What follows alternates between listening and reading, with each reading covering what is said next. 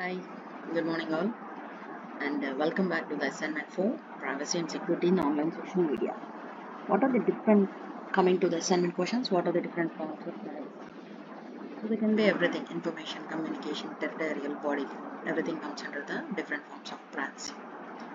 Coming to the second question, please rob me. Highlighted issues specifically stemming from public self-disclosure of information on social media by users using an unidentified source of information to extract an individual's sensitive information is called re-identification.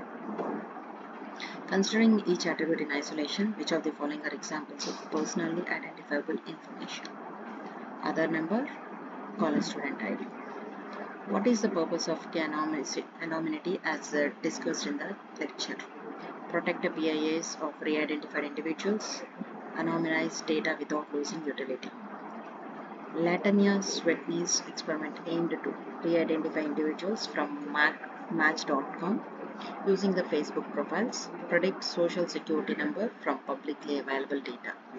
What are the advantages of NumPy arrays over lists in Python? NumPy arrays are faster and more compact than Python lists.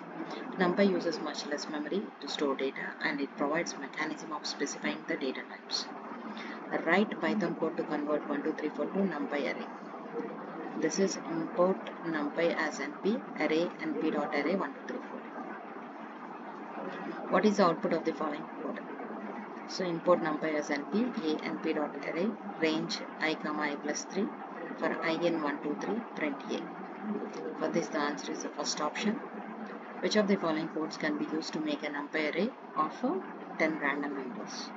Here we are having uh, to import numpy as np random array np.random ran 10 and second one is import numpy as np random array is equal to np.random.random 10 which of the following numpy functions can be used to generate an end-to-end diagonal matrix?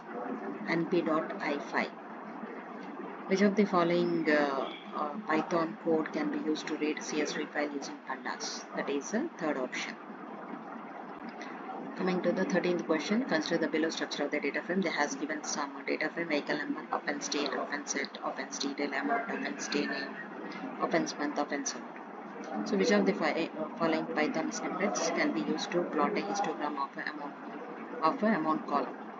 So df amount plot history, df uh, df columns for plot history, or import matplotlib pyplot as plotter 1, 2, 3 options. Coming to the 14th question, uh, what is the output of the following code? That is uh, 1, 2, 3 ABC.